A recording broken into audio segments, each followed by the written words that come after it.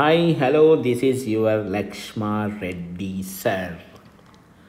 Okay, hydrogen topic, class 11 NCERT hydrogen peroxide questions we are discussing. Chalo.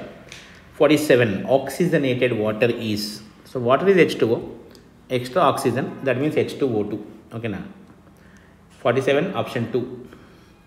The following reacts with water to give H2O2. Okay, that is H2S2O8 which we call Marshall's acid peroxodisulfuric acid H2S2O8 with water H2O2. Option 2. Electrolysis of 50% sulfuric acid produces using platinum electrodes H2S2O8 at anode, hydrogen at cathode. So option first H2S2O8 at anode. Okay, and hydrogen will be at cathode. Don't confuse. 49th option 1. An aqueous solution of H2O2 is purified by okay now this is one interesting one. Aqueous solution of h2o is purified by distillation under reduced pressure otherwise it will go for decomposition type. Memory based. Negative catalyst for the decomposition of hydrogen peroxide is that means it is going to stabilize that one. Okay now that is acetanilide or phosphoric acid h3po4 or glycerol we can use. Okay MnO2 is catalyst. Negative catalyst means which makes hydrogen peroxide stable. Acetanilide, glycerol, phosphoric acid. Remember, here option 4. 52 positive catalyst for the decomposition of H2O2 among the following is. Okay, now that is which is going to break it. And that is iron. Iron is the best catalyst to break it. Hydrogen peroxide is, hydrogen peroxide is actually having two protons. Two protons it can release. So, you can consider this as a dibasic acid. H2O2 can give one proton, HO2 minus can give another proton, O2 minus 2. H2O2 is a dibasic acid. Next question. Okay, the same statement is mentioned here. H2O2 is a dibasic acid. Similar things happens in exams also. You know, if you see very carefully, at least for one question, you will get somewhere some idea in the exam same paper.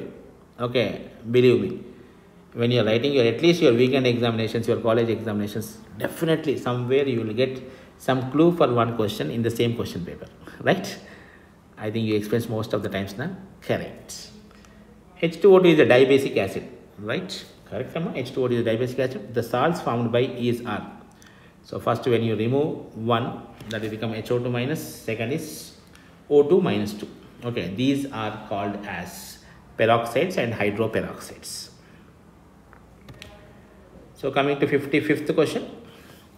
The specific test for hydrogen peroxide is, okay now what is the test for hydrogen peroxide? Hydrogen peroxide test is um, titanium sulfate, okay now titanium sulfate or titanium dioxide you can take and it turns into titanic acid H4 TiO4. H4 TiO4 is of orange color.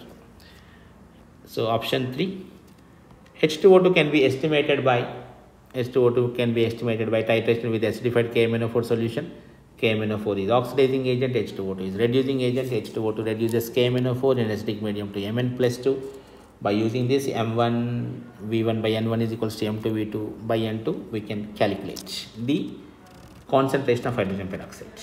Remember, oxidation state of oxygen in hydrogen peroxide is minus 1, blind question Delicate materials like silk, wool and ivory are bleached by when you are discussing about hydrogen peroxide. Obviously, the credit goes to hydrogen peroxide only. So, 58th question hydrogen peroxide.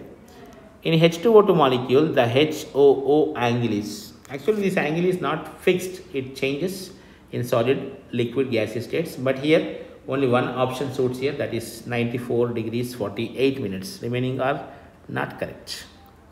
In H2O2 molecule, the OO bond length is this is again memory based type. You can you have to remember better 1.48 angstroms no other option because sometimes this is this type of questions are coming in exam. In H2O2 molecule the dihedral anglion gas phase is yes gas phase solid phase both values are mentioned in NCERT also. You need to remember 61st question option 3 111.3 remember